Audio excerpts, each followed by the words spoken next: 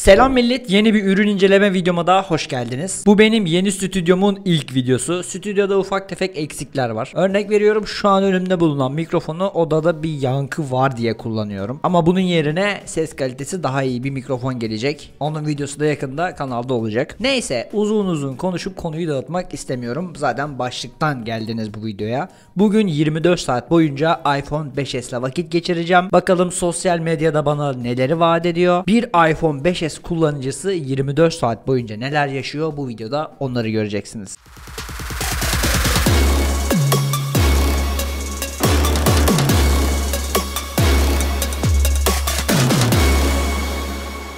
Telefon hakkındaki kullanıcı deneyimlerine ve 24 saat geçirme videosuna geçmeden önce hızlıca telefonumuzun teknik detaylarından bahsetmek istiyorum. Teknik detaylara her zaman olduğu gibi ekranla başlıyoruz. Kendisinin 4 inç IPS LCD 60 Hz tazeleme hızına sahip SD bir ekranı var. Bu ekran 326 ppi ve 640 x 1136 piksel sıralamasına sahip. Telefonumuzun ekran gövde oranı günümüzde kullandığımız telefonlara göre biraz fazla. Kendisinin %60.78'lik bir ekran gövde oranı var. Ben deneyimleme bölümünü teknik özelliklerden önce çektiğim için telefonla birkaç video izledim. Birazcık kullandım. Yani %60'lık bir ekran gövde oranına sahip bir telefonda video izlemek beni çok rahatsız etmedi. Sosyal medyada takılırken de telefonu dikey konumda kullandığım için yine rahatsız etmedi. Ama günümüz teknolojisiyle kıyaslayacak olursak %60.78'lik gövde oranı son derece az. Telefonumuzun bataryasıyla devam ediyorum. İçerisinde 1560 mAh'lik bir batarya bulunuyor. Bu batarya bize 10 saatlik konuşma süresi, 10 saatlik internette dolaşma süresi ve 250 saatte bekleme süresi vaat ediyor.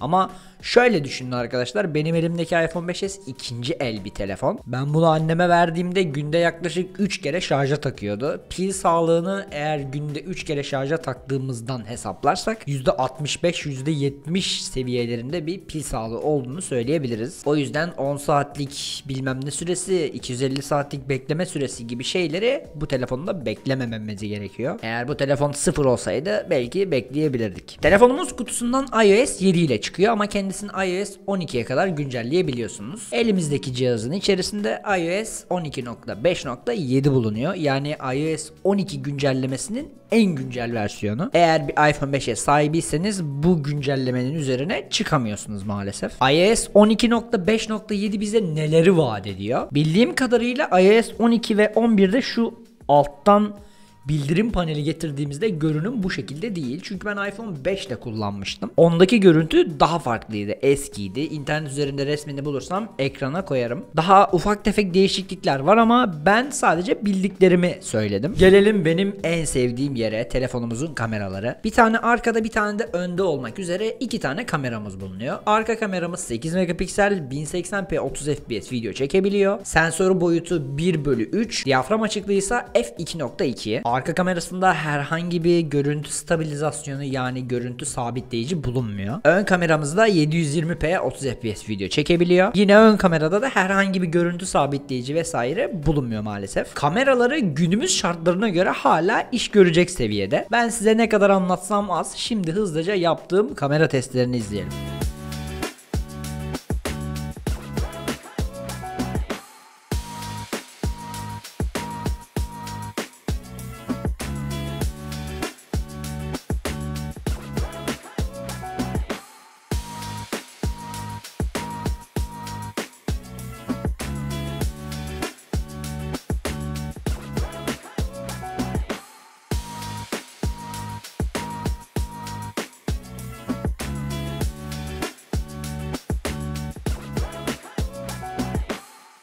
Evet videonun bazı kısımlarına iPhone 5s'in kamerasıyla devam etsek herhangi bir sıkıntı olmaz diye düşünüyorum.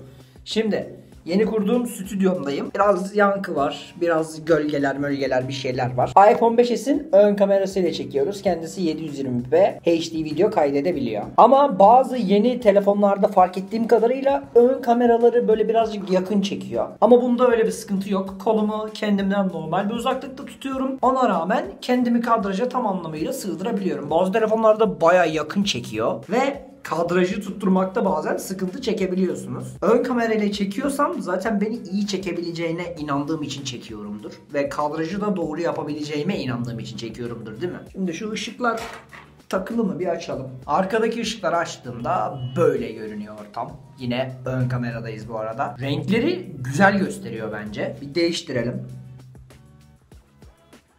Böyle bir şey yaptım şimdi de. Şimdi ön kamerasının performansını beğendik ama bir de arkaya bakalım. Arkada durum ne? Evet arka kamera tabii ki de ön kameraya göre biraz daha iyi olacaktır diye düşünüyorum. Şöyle yine birazcık renklerle oynayacağım. Arka kamerası beni yarı yolda bırakmayacaktır diye düşünüyorum. Çünkü iPhone 5s'in arka kamerası çıktığı yıla göre gerçekten de iyiydi. iPhone'da iPhone 5s ve iPhone 5'i böyle yan yana koyup onların stabilizasyonlarını vesaire test ediyordu. Ben iPhone 5s'in kamera performansını o zamanlar gayet beğeniyordum. Şu an tabii ki de tekrar tekrar söylüyorum. Bir sürü yeni kamera teknolojisi çıktığı için garibim iPhone 5s sadece onu çekiyor, ufak bir işliyor, galerisine kaydediyor bu kadar. Onun haricinde maalesef çok da bir ekleme yapamıyor. Ama yeni iPhone modelleri biliyorsunuz videoyu veya fotoğrafı çekiyor, işliyor, yapay zeka desteği var falan filan bir sürü işlemden geçiyor ve güzel bir şey çıkarıyor ortaya. Yani çok konuştuğumu hissediyorum ama arka kameranın performansı da bu şekildeydi arkadaşlar. Evet, telefonumuzun donanım özellikleriyle devam ediyoruz. iPhone 5s'imizin içerisinde Apple A7 Bionic chipseti bulunuyor. 64 bitlik bu işlemci, çift çekirdek ve 1.3 GHz hızında. A7 chipset şöyle bir düşününce bayağı eski arkadaşlar. A17 Bionic chipset çıktı. Yani bunun 10 model üstü var. Deneyim kısmındaki performans artı ve eksilerini de buna göre değerlendirirseniz sevinirim. Açıkçası ben böyle değerlendirdim. Son olarak telefonumuzun kablosuz bağlantılarından bahsetmek istiyorum. Kendisi Wi-Fi 4'ü destekliyor. Bluetooth sürümü de 4.0. Yine o yıllardaki bir telefon için gayet güncel kablosuz bağlantı teknolojileri. Evet teknik detaylarımız bu şekildeydi. Şimdi hızlıca videomuzun vlog kısmına geçelim. Vlog kısmında telefonu günlük hayatta kullandığım görüntüleri göreceksiniz. Daha sonrasında da kapanış ve yorumlarım için tekrar birlikte olacağız. Evet selamlar videoya vlog olarak devam edeceğiz dedik. Şimdi uyandım. Saat birazcık geç ama bugünü elimden geldiğince iPhone 5s'te geçirmeye çalışacağım. Kendisini şarja taktım. Bir fullensin. Full pil performansındayken neler yapabileceğiz? İçerisinde bir de Spotify yüklemeyi deneyeceğim. Çünkü uzun zamandır beklediğim Allame ve Sia'nın ne kadar alakasız ikililer değil mi? Yeni albümleri çıktı. Onları dinlemeyi istiyorum telefon üzerinden. Eğer bir plan yapıp akşam dışarı çıkarsam telefonu yanımda götüreceğim. Kamera performansına dair biraz daha fikir edinmeniz adına gece de fotoğraf çekeceğim onunla. Bakalım iPhone 5s'i 24 saat boyunca kullandığımızda başımıza neler gelecek hep birlikte göreceğiz. Evet, tekrar selamlar. iPhone 5s'i yaklaşık 2,5-3 saattir kullanıyorum. Bugün evdeyim, çok dışarı çıkmadım. Size akşam dışarı çıktığımda işte şunları bunları yapacağım falan diye de anlatmışım ama akşam dışarı çıkmalı çok da bir işim yok. Öncelikle telefonun en büyük sıkıntısı tabii ki de sosyal medya üzerinde birazcık kasması. Çünkü içerisinde son derece eski bir chipset de olduğu için günümüz sosyal medya uygulamalarında kasması ve zortlaması son derece normal. Ama yine de çok da kötü olmayan bir sosyal medya performansı sunuyor bize. Ben pilini de full şarj ettim bu arada. Şimdi sizinle birlikte yaklaşık bir yarım saat 40 dakika Instagram Reels'ta dolaşacağım. Beğendiğim Reels'ları arkadaşlarıma göndereceğim falan filan. Bakalım sosyal medya kullanırken bize ne gibi sıkıntılar yaşatacak? Mesela mesaj sırasında klavyesi şöyle epey küçük olduğu için bir şey yazarken son derece zorlanacağım büyük ihtimal. Ben kendi telefonumla şöyle telefonu iki elle tutup hızlı hızlı yazmaya alışkınım. Benim telefonum ve bunun arasındaki fark da şöyle bir şey olduğu için iki elle mesaj yazma olayı benim için birazcık sıkıntı olabilir. Hatta şöyle yana ekran görüntüsünü de koyayım. Bakalım hızlı şekilde bir şeyler yazmaya çalıştığımda yazabilecek miyim? Adımı yazayım. Yazamadım. Ramazan. Bak büyük harfe geçtim yanlışlıkla. Yani doğru şekilde yazabildim ama birkaç saniyeme aldı. Bir şeyler daha ekleyeceğim. Abone olmayı bak yanlış yazdım ama Allah'tan otomatik düzeltme var toparlıyor. Unutma bro yazdım. Unutma boşluk bırakamadım. Yani küçücük klavyeye alışkın değilmişim onu fark ettim. Ya alışkın değilmişim demeyeyim de hayatımda artık böyle bu kadar küçücük telefonlar olmadığı için küçük klavye birazcık garip geldi. Neyse şimdi iPhone 5s ile bir sosyal medya sefası yapalım bakalım neler yaşayacağız.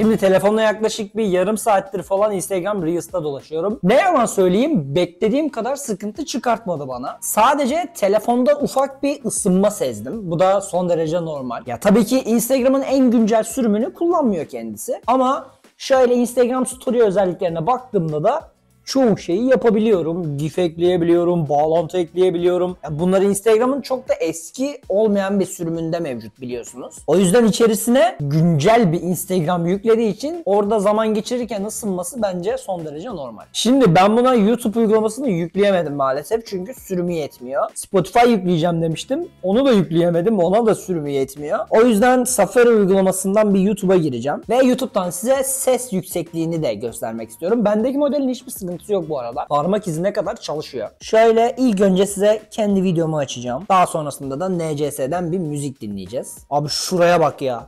1000 aboneye geçtik. Hala ben en başta çıkmıyorum. Acayip sinir bozucu bir durum. Girelim kanalımıza. Ekran 720p olduğu için bu arada tam kalite izleyemiyoruz. Benim bu video 1080p 60 fps. Görüntü kalitesi bu şekilde. Yani size çok da iyi gösteremem ama ses yüksekliğini de şöyle bir göstermek istiyorum.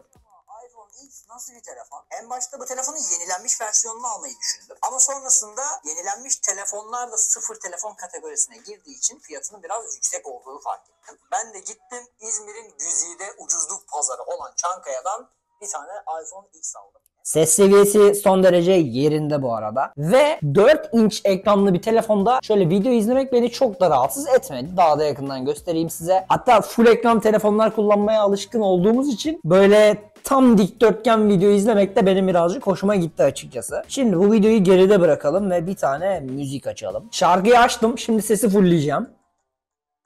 Benim mikrofon çok kaliteli değil. Tam performansını size anlatamayacağım ama seste herhangi bir bozulma olup olmadığını size betimlemeye çalışacağım. Çatlama patlama yok bu arada onu söyleyeyim. Hoparlör de mono. Yeni iPhone'larda biliyorsunuz stereo bir ses alabilmemiz için sesi belli bir seviyenin üzerine çıkarttığımızda ahizeden de ses geliyor. Ama bunda altta iki tane hoparlör deliği var ama ses sadece bir taraftan geliyor. Yani mono bir ses veriyor bize.